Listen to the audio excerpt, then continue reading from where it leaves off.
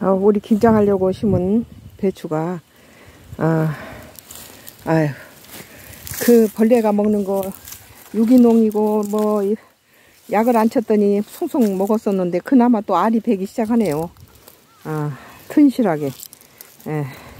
그 벌레 먹는 걸 다 이기고 어 그래도 끝내는 살아남아서 이렇게 우리 김장 한 15포기만 하면 되는데 이건 뒀다가 이번 김장하고 남은 것은 봄에 예, 또 봄 김장을 하면 되겠어요.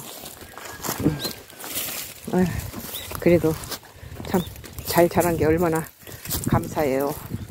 저기 무도 무도 속이 잘 들어있고 음. 뭐 배추도 이러면은 사 먹지 않고 올해도 김장할 수 있고 이걸 양배추는 이제 겨울 내내 이 양배추 샐러드 해 먹고 케일은 주스로 먹고 당근도 우리 먹을 만큼 조금 심었는데 사, 사지 않아도 되겠어요. 이것만 해 우리 먹을 것만 조금 더 심었기 때문에 음. 아, 참, 아, 잘 됐네요.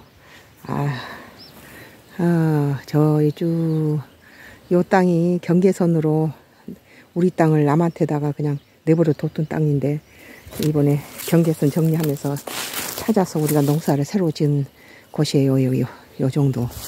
한 3m 정도가 우리가 손해를 봤더라고요. 아, 쭉, 여기를 심어서 저 밑에는 고구마를 심었어요. 여기는. 여기는 고구마. 아,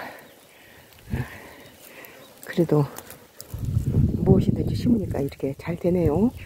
아, 참, 참 여러 가지 골고루 우리가 텃밭에 나오면 마트 가지 않고도 이렇게 살 수, 이것을 구입할 수 있도록 골고루 요리에 필요한 것들을 다 심었어요.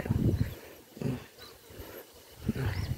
참 보람 있죠. 옥수수도 이제 11월 달쯤 되면은 따서 해- 또 싱싱한 옥수수를 먹게 생겼네요.